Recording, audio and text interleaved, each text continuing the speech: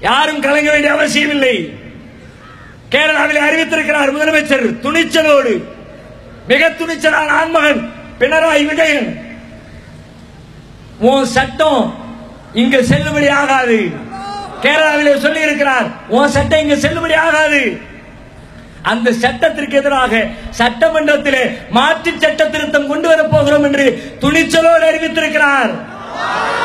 தமிழகத்தை பார்த்தால் கேவலமா இருக்கு. நாடா இது? ஒரு மாநிலமா? ஒரு அரசு இருக்குதா? நிர்வாகம் இருக்குதா? மத்திய அரசுடைய கால்களை நக்கி பிழைக்காத குறையாக எந்த பதிலையும் காணோம் அசாத்திய மௌனம். ஏற்க தகுந்ததல்ல. தமிழக அரசுக்கு சொல்லுகிறோம். மக்கள் புரட்சி வெடிப்பதற்குள்ளாக இப்போதைய கோபம் மத்திய அரசை நோக்கி இருக்கிறது. நாளை மாநில அரசை நோக்கி திரும்ப கூடாது என்றால் உடனடியாக உங்கள் கண்டனத்தை சரியான முறையில் நீங்கள் பதிவு செய்ய வேண்டும் என்று கேட்டு நிறைவு செய்கிறேன். வாக்குறது அவ்வாறு அலமதுல்லாஹி ரபில் ஆலமீன். அஸ்ஸலாமு அலைக்கும் வரஹ்மத்துல்லாஹி வபரகாத்துஹு.